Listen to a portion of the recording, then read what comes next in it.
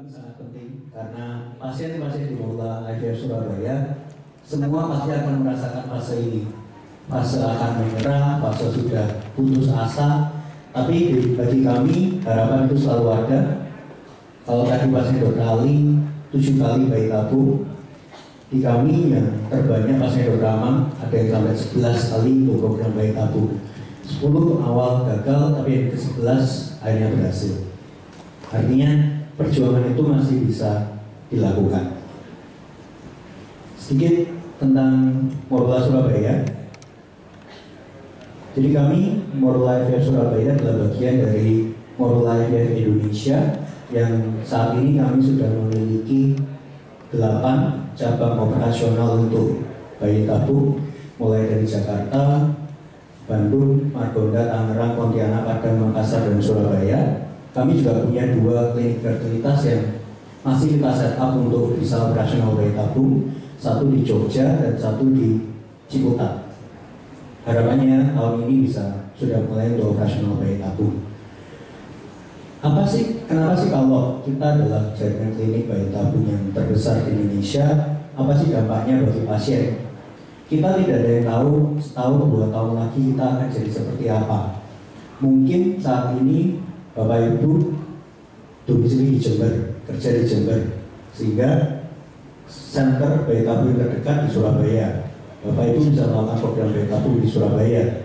Seperti tadi sudah dibilang oleh Dr. Amang, Dr. Ali, dan Dr. Benny bahwa program bayi tabung itu kita menumbuhkan sel telur sebanyak-banyaknya. Dari sel telur yang tumbuh, kita ambil, kita temukan dengan masing-masing satu sel sperma sampai jadi embrio. Embrio didapatkan bisa lebih dari satu, bisa 10, bisa 15.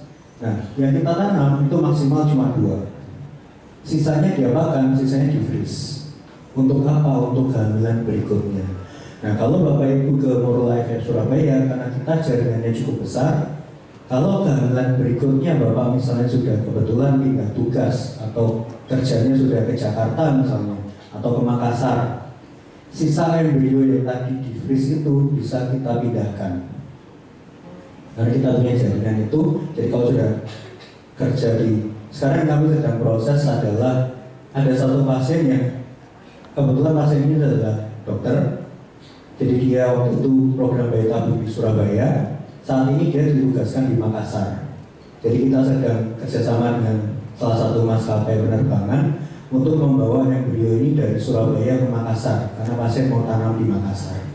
Itu bisa kita lakukan. Yang kedua kami adalah klinik fertilitas yang sudah terpercaya. Jadi World Life Indonesia total sudah berumur 20 tahun dan puji Tuhan sampai saat ini kami belum ada review negatif. Silakan Bapak Ibu bisa googling di Google World Life Surabaya. Tadi sih saya coba sampai hari ini saya belum menemukan review negatif. Nah orang Indonesia itu kebanyakan kalau puas dia tidak bilang, tapi kalau dia tidak puas dia akan bilang ke mana-mana. Jadi saya masih bersyukur bahwa tadi tidak menemukan review negatif, artinya tidak ada yang tidak puas. Sampai saat ini seperti itu. Kemudian, nah ini juga penting. Jadi proses yang nanti yang akan Bapak Ibu alami di Life Surabaya itu Bapak Ibu akan berhubungan dengan tim. Tim itu satu dokter pasti. Tadi dibilang dokter Amang bahwa dokter di kami ada tiga, dokter Amang, dokter Benny, dokter Ali.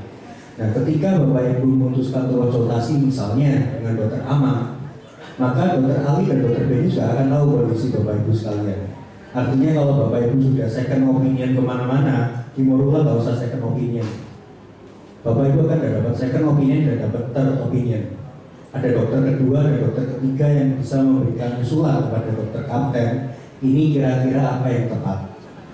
Tuh. Kemudian tim itu juga tidak hanya dokter, tim itu juga termasuk nurse atau perawat dan bidan. Di kami perawat dan bidan kami berkali dengan skill khusus untuk program fertilitas, terutama bayi tabung. Tadi sudah seperti bilang oleh Dr. Ali Dr. Ben, bahwa ketika nanti Bapak Ibu gabung ke Modul dari Surabaya menjalani program, maka Bapak Ibu akan didampingi oleh satu perawat PIC. Nah, perawat PIC yang akan standby untuk konsultasi Bapak Ibu sekalian.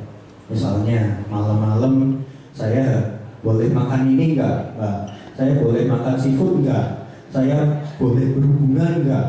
Nah, itu bisa malam-malam WA perawatnya. Tapi kalau mau berhubungan jangan bilang-bilang perawatnya pada apalagi rekam video.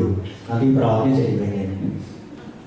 Nah, selain itu tadi, selain dokter, selain perawat, yang penting juga bagi program bayi tabung adalah embryologis di balik layarnya yang menemukan antara sel telur dan sperma yang main-main di bawah mikroskop ini adalah embryologis.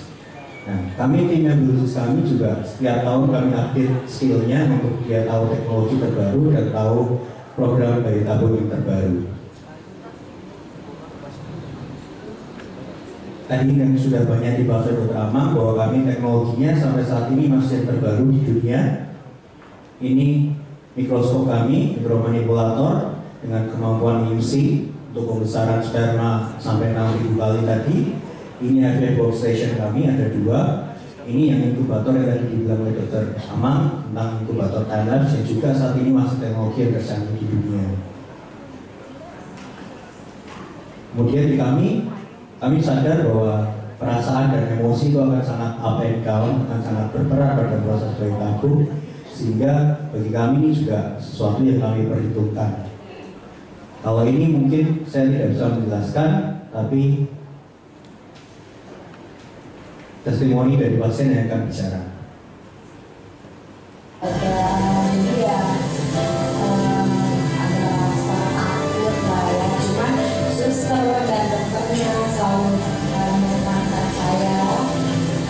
support saya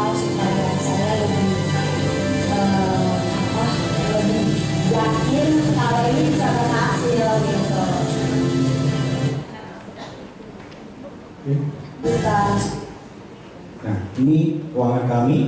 Mungkin kalau ada kesempatan mampir ke Surabaya, silakan mampir. Kami ada di National Hospital di Jalan Boulevard Family Selatan, Gerah Family, depannya Unesa Ciptaland.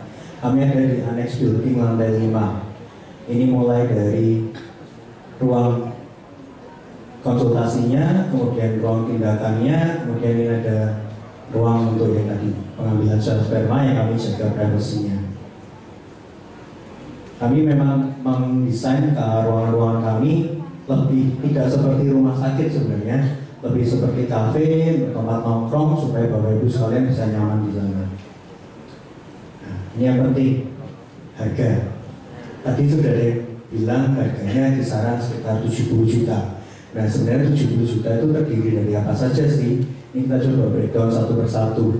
Jadi ketika ibu, bapak ibu sekalian menjalani program bayi tabung, itu yang pertama akan dibayarkan adalah joining fee, biaya administrasi programnya itu sebesarnya satu juta tujuh ratus lima puluh. Kemudian analisa sperma kalau dilakukan di kami harganya 400 ribu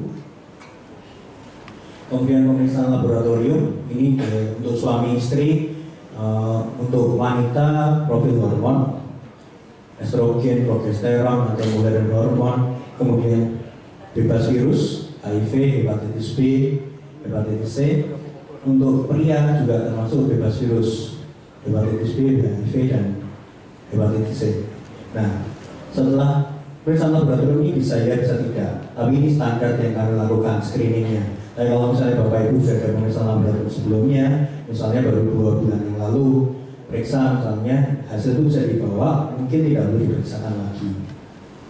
Kemudian konsultasi dan USG untuk empat kali pertemuan itu totalnya 2.600. Kemudian ini yang paling mahal, ini komponen yang paling mahal adalah proses pertemuan antara pengambilan sel telur dan pertemuan antara sel telur dan sperma itu nilainya 31 juta. Kemudian embrio transfer penanaman embrionya itu nilainya 9 juta 500 sehingga total untuk biaya tindakannya adalah 50 sekitar 55 juta. Nah, tindak biaya tindakan ini akan muncul untuk siklus bayi tabung yang pertama. Kalau Bapak Ibu sudah punya cadangan telur yang sudah dibekukan, maka tentu biayanya tidak sebesar ini. Joining fee-nya sudah dicoret, analisa sperma nggak perlu, laboratorium tidak perlu diulang semua, mungkin ada beberapa tapi tidak sebesar ini. pengambilan telur dan ICSI ini sudah jelas sudah tidak perlu karena Bapak Ibu sudah punya embrio, tinggal komponennya di embrio transfernya. Itu untuk siklus-siklus berikutnya. Nah, kenapa kok biaya sampai sampai 70? Karena komponennya tidak hanya biaya tindakan. Ada komponen luar yang bukan dari kami adalah biaya obat. Jadi ketika eh, Bapak Ibu melakukan program bayi tabung tadi kan ditumbuhkan telur sebanyak-banyaknya Nah untuk menumbuhkan telur sebanyak-banyaknya itu butuh obat-obat stimulasi. Nah obat-obat stimulasi itu yang biayanya itu mulai dari 15 juta. Saya tidak bisa bilang pastinya berapa karena ini sangat tergantung dari baseline-nya. Jadi ketika screening awal usia ibu berapa, hormonnya gimana, sehingga butuh dosis berapa. Butuh dosis berapa pun akan kita evaluasi lagi pada hari keempat apakah dengan dosis yang diputuskan di awal ini sudah cukup atau belum? Bisa jadi dosisnya tetap, bisa jadi dosisnya naik, atau mungkin justru dosisnya turun. Itu juga bisa terjadi. Jadi untuk biaya obat kita kasih kisarannya start dari angka 15 juta. Tapi ini harga normal. Nah tentu kalau ada event-event khusus seperti ini kita ada beberapa promo Oh iya, yang berikutnya adalah kemudahan pembayaran. Jadi angka yang tadi, angka senilai 55 juta tadi, kalau Bapak Ibu sekalian ada rencana melakukan cicilan misalnya, bisa beli di Tokopedia atau Bukalapak. Bisa pakai kartu kredit atau pembayaran yang lain, bisa melakukan cicilan untuk beberapa tindakan di sini. Terutama yang besar ini. Komponen yang paling besar ini itu ada vouchernya di sana, bisa dicicil silahkan untuk obat pun bisa. Ini ada beberapa pilihan voucher di Tokopedia dan Bukalapak nah kemudian untuk promo yang pertama pada kesempatan hari ini adalah kan tidak semua bapak ibu di sini akan ikut program bayi tabung mungkin beberapa bapak ibu sekalian belum tahu aku harus apa apakah aku harus bayi tabung? Atau apakah aku bisa dengan cara alami? Atau atau inseminasi nah untuk itu yang pertama yang kami tawarkan adalah basic fertility screening. Ini untuk apa saja? Konsultasi dokter, analisa sperma, wasit transvaginal, plus administrasi sebenarnya. Nah ini kalau harga normalnya dari daftar harga tadi itu totalnya satu juta seratus dua puluh lima. Tapi untuk hari ini untuk peserta seminar dengan jumlah terbatas kami jual ini dengan harga 559 tapi jumlahnya terbatas kita batasi nanti bisa daftar di meja registrasi yang tadi di depan. Kemudian yang kedua adalah media promo. Jadi di luar acara seminar ini kami saat ini memang sedang ada program promo tengah tahun. Mulai dari 1 April sampai 30 Juni.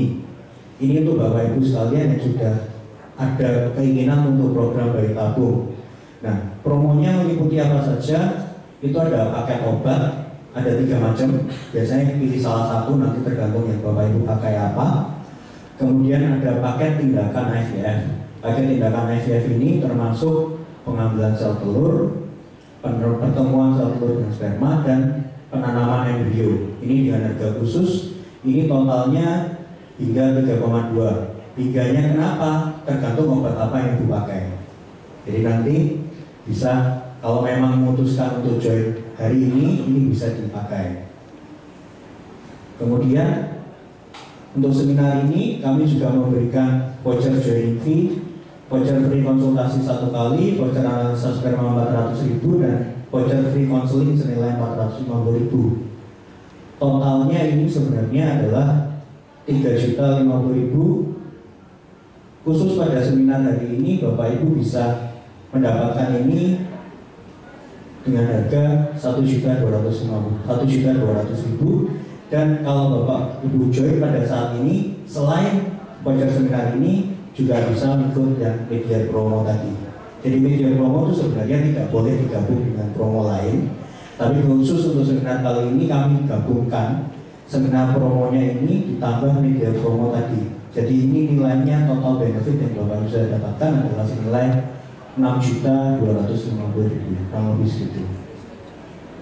Untuk pendaftarannya nanti bisa di meja registrasi di depan pintu kaca ini. Kemudian